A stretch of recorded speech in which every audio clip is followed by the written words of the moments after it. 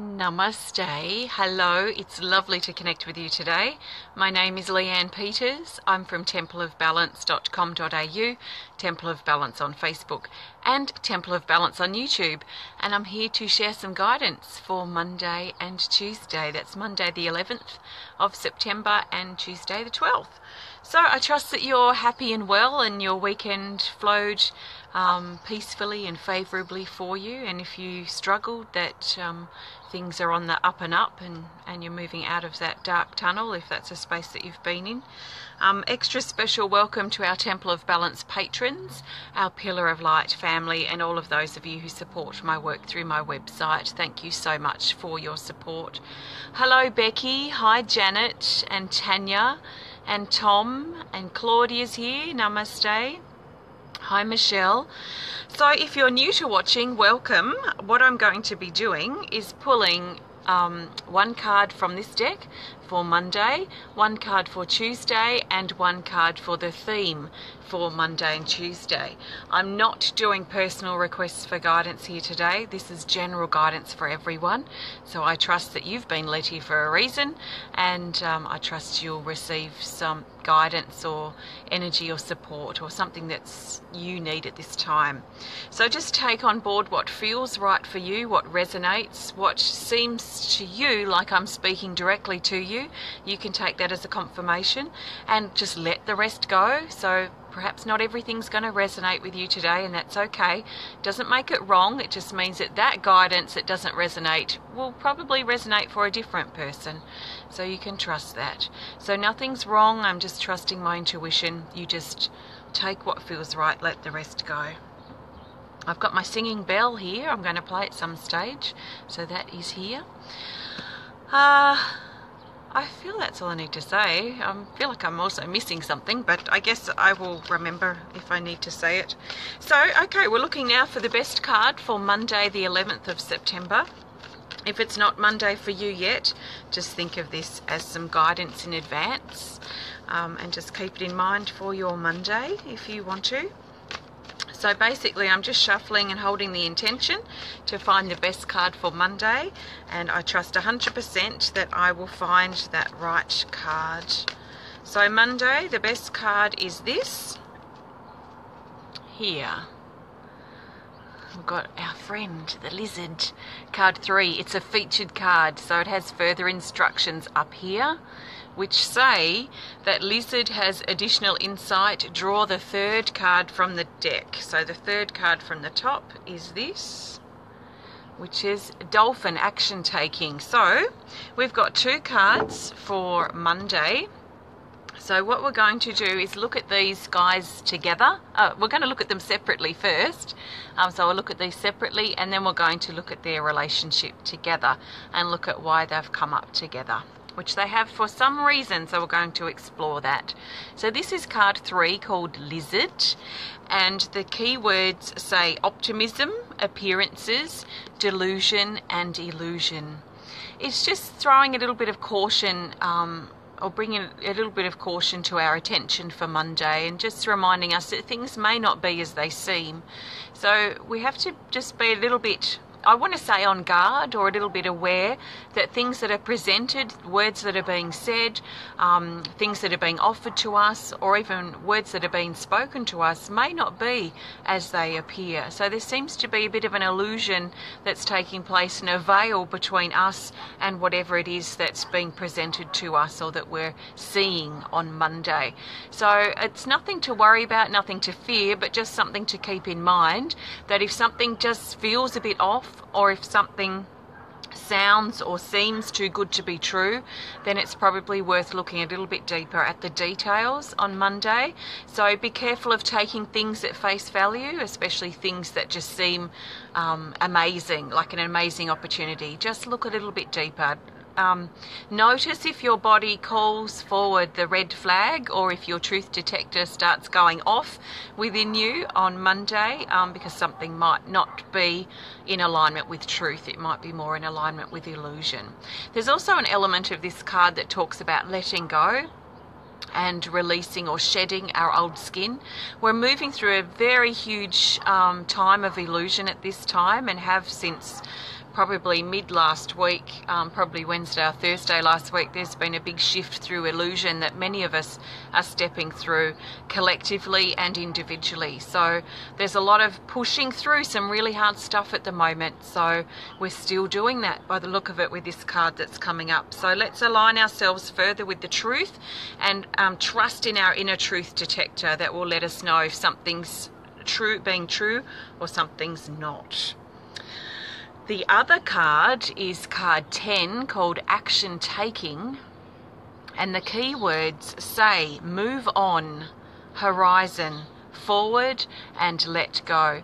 This card has been somewhat popular in the last couple of weeks, so it's appeared probably once or twice a week lately, um, so it's fairly popular. It talks about moving on now, letting the sun set on the old parts of our life so that the sun can rise on the new parts of our life now. And with these two cards together, I'm getting the visual of. Um, allowing the sun to set on the old parts of our life and then going through that period of darkness, that period of illusion, that period of confrontation and really dramatic, chaotic, storm like energy as we move through the dark parts of the night and prepare to come out on the new, um, awaken to the new dawn that's preparing to surface in our life. So a lot of us are in this space now where we're really letting go big time of the old stuff and moving forward and really unhinging and detaching ourselves from the past stuff and the past ties that held us back and really giving ourselves permission to move forward because perhaps we had obligations that we felt that we had to, um, that we were tied to, that were holding us back in quite a big way. And perhaps we're realizing these sorts of things now so that we can detach, cut those cords, and allow the sun to rise on the new day, the new phase, the new chapter, the new part of our life. So this is a really powerful time, and this is talking about the energy that's been about for the last few days, still strong for Monday.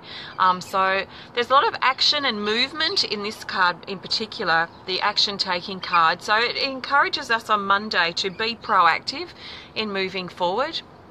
So, if we've been hovering around in an uncomfortable, old, expired energy and, and, and we're not actively cutting those cords, or the ties to our past, then Monday feels like a very favourable time to take action in cutting those cords. Sometimes we need to cut them mentally, sometimes we need to cut them emotionally, sometimes we need to cut them very physically in our life um, or on those energetic levels. So consider what feels right for you and where you feel you're still being pulled from those past ties and how you can cut those ties again at a deeper level so that you can move through this this time and further into the truth and let the new dawn rise on your new phase of your life. A lot of us are stepping into such a new phase, um, and it's there's a big unknown element to this. So we don't. A lot of us don't know what we're stepping into, what we're stepping forward into, but we can trust and some for some of us the calling from our soul is so strong that we're not even investing a lot of energy or attention or thoughts or worry about um, the unknown that we're facing. It feels right so we're trusting that. So we're getting more in touch with ourselves more in touch with our truth and feeling our way through this time so extremely strong energy continues to be around and that's the energy for monday so I feel this would be a perfect time to get out the singing bowl. So I'm going to, a singing bell rather. So I'm going to use the singing bell now, which is this. So it usually would have a donga thing, but I've taken it out. Um, and so I can play it like a singing bowl. And I turn my bell upside down and play it.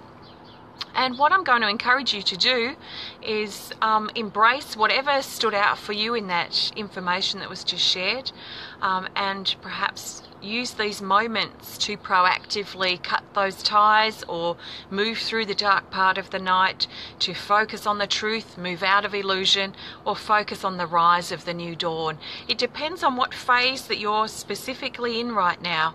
So trust what you're feeling in your heart and in your body and allow that to be your guiding force. And also trust what's playing out in your life because what's playing out in your life will show you what phase of that part of the journey that you're specifically in. So just take some nice deep breaths and work with the sound of the bell to help you do what you need to do. You can't do anything wrong, so just trust in yourself. Um, I'm not really going to talk, so just take some deep breaths and let yourself feel and do what you need to do. So, nice deep breath.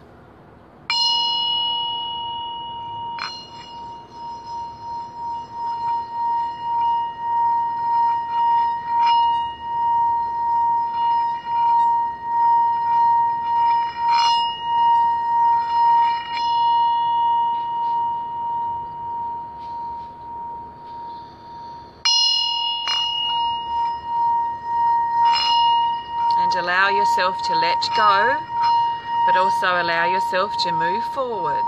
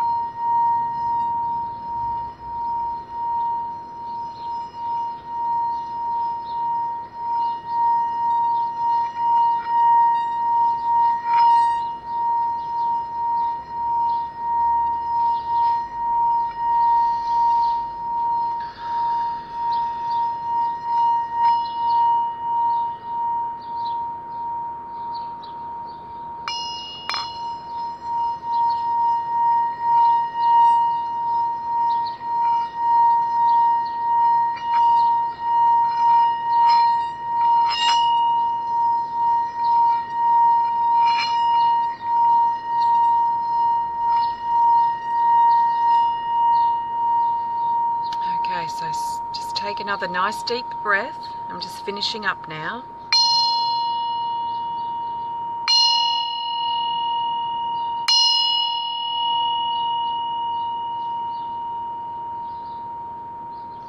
Just feel that release through your body and feel your courage, your bravery. Bravery is a big word at the moment, and courage, because it's taking a lot of courage and bravery to step out of um, the old and to allow the sun to set on old parts of our life and old parts of ourselves because we are changing so much right now. And it's taking a lot of bravery and a lot of courage to speak up and to be honest and to be raw and expressive um, and share from our heart. It's taking a lot of courage and bravery to walk through this dark part of the night, which is never a comfortable place to walk through. So it's taking a lot of courage for us to do that. And it's taking a lot of courage and bravery for us to allow the new dawn to rise on our life because we don't know how things are going to change right now. So there's that huge element of the unknown means that we just have to trust. We have to be brave. We have to trust that whatever we feel in our heart and the truth that's important to us will align us up with our true path. We have to trust that 100% right now, even though we may feel like we're moving forward with a blindfold on. Trust in your heart. This is our compass and our guidance system, and we're becoming more comfortable and willing to spend more of our moments trusting in the guidance of our heart. It's becoming more of the way of life for us. So I trust you're feeling feeling good. And if not, just just be gentle with yourself and just let yourself gently move through this time. Okay. okay. Let's drop off the deck and do a, a, reshuffle.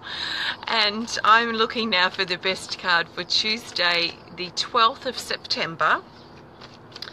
And there may be a shift in energy just by um, me using the bell after Monday's guidance. So we will see what comes up. So the best card for Tuesday the 12th of September for the majority of us is this. Here card 15 called projection. The keywords say vision, focus, concentration, and chaos. It reminds us to stay focused on Tuesday amidst the chaos. So it's a bit like holding within the eye of the storm as best as we can.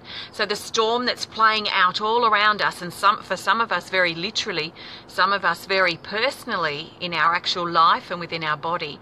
But we've been guided to hold within the eye of the storm that's playing out. Let's hold our center. Let's hold in our focus and our concentration that all will be well and we can trust that. That this storm, this literal or very personal storm, is shifting stuff that doesn't align with our truth any longer and we can trust that. So there's a big sweep up of, um, of energy in our life, within our own being, in our relationships, that is shifting everything. So uh, we're guided on Tuesday to stay focused while the chaos is playing out around us. So, how can we do that? Uh, we can think of taking really deep breaths and holding tall in our body, so strong as we can in our spine um, and really perhaps imagining breathing up and down our center um, in that space of our spine or up and down our body to help us hold in that space of center within the eye of the storm. We can think about detaching from drama that's playing out around us. And if we're in a space, if we're going through a physical storm, that's scary, then um, sometimes we can do things to help bring us some peace of mind, like um, I, if, if there's a big storm or weather happening around where I am and I'm feeling a little anxious about it or a lot anxious about it, I will actually call on Archangel Michael and ask him to stand guard of the home and stand guard of the property, stand guard of the suburb, stand guard of the city, of the state, of the country, of the world. So you can picture if you connect with Archangel Michael that he's there standing guard and keeping you safe and protected. I do the same thing when I'm flying in a plane. I imagine Archangel Michael standing guard at the front of the plane and keeping the plane safe and protected. So you can practice any sort of protection technique that where you can kind of um, trust in that energy so that you can hold your center without getting pulled into the worry and the anxiety and the fear that comes with these sorts of things. So, um, just a little bit of a tip if that's something that you need to hear right now. So, Tuesday, hold focused. Be careful you don't become distracted, especially distracted by the illusion or the fear that's playing out. Okay, let's now look for the best card for the theme for Monday and Tuesday. So I think of the theme card as helping us bring these days together and help us see the bigger picture uh, for Monday and Tuesday. So let's have a look and see what's it going to be. And I trust I'll be led to the best card, which is this. Here. This card's been popping up too a lot in these last couple of weeks. It's card 23 called Overlapping Worlds. The keywords say ref- reception, sensors, beacon, frequency, and veil. It basically talks about what I was just talking about with the first two cards that came up for Monday. It talks about being in a time of transition. Time of transitions are not easy, they are uncomfortable. So we have to prop ourselves up or support ourselves through these times of transition. So, what do I mean by that? Basically, times of transition are occur when we're in between change. So, when we uh, the old door hasn't fully closed on an old part of our life, and the new door hasn't fully opened on a new part of our life. And we're left in this transitional limbo kind of space in between. So it's like when I was talking earlier about the. Um, the sun setting on an old part of our life and then traveling through that um, dark part of the night to wait for the new dawn to rise on the new day. This is like that time period in between, uh, in that time of night. Uh, so we're being guided to just do our best to flow through this time of transition as best as we can. Our senses may be on high alert. We may feel pushed and pulled, and kind of um, one moment we don't want to let go of the past, and another moment we absolutely do. Another moment we might be really scared of what's coming next. And an, another moment we might be really welcoming of what that potential is. So there's a feeling of being um, scattered, of pushing and pulling within ourselves. Mentally, our mind's probably going to go all over the place, and emotionally, we're just emotionally huge right now. Um, our emotional body is really quite huge. So it's quite difficult to find words to describe how we're feeling right now as well, but that's a whole other topic. Um, so, what can we do during this time of transition? Just nurture ourselves through it. Um, keep um, pepping ourselves up, if you like, or motivating ourselves to move forward, to keep checking in, make sure that we're sitting in our heart. Um, I do that every day. I just check in and sit in my heart and see how it feels, and the essence and energy of my heart continues to change um, each every single day. It's it's just a whole different landscape. Sometimes I imagine it to be like a comfortable chair, the most comfortable chair I can imagine, and I bring my essence down and sit in my heart. And that's one of the best ways, um, if you're good at visualizing, to bring yourself into your heart. So trust, sit in your heart, trust in the truth, trust in how you feel and move forward flow forward flow forward one feeling. Allow yourself to feel your way forward. It's a really powerful sentence if you really think about it and really feel on it is to feel your way forward. We're so accustomed to thinking our way forward that i feel right now it's getting a lot of us into trouble or it's making us feel like we're quite disconnected from our path so let's slip into our heart and trust how we feel and feel our way through this time. It is a temporary time, and um, let's just do our best as we shuffle through this dark part of the night and await for the new dawn to rise on the new day. So, I trust this guidance is helpful for you, and you have a fantastic couple of days. It may not be easy, but uh, we're not really here to have an easy life. Not that that implies that that sort of implies that it's hard, but we can be here to enjoy ourselves, but we are here to overcome obstacles. That's part of our growth and development and expansion as a soul, and why we chose to be here at, at, in this body at this time. So there is a bigger picture playing out, um, and this is a temporary time. So thanks for joining me. These cards are my very own Speed of Light Oracle cards, which I created if you want to learn more about them, just have a look on my website. They're fantastic to use and very much in alignment with the current energy and the truth. So uh, have a look if you're inspired to. If you enjoyed the video, you know what to do. Hit the thumbs up button. Please show us some love please comment or share if you're inspired to and if you'd like to connect more privately just send us a message through our website. Um, oh, I was going to bring out my one of my owls. I had one of my new owls ready on the table to bring out because I was going to show you and I just saw my note.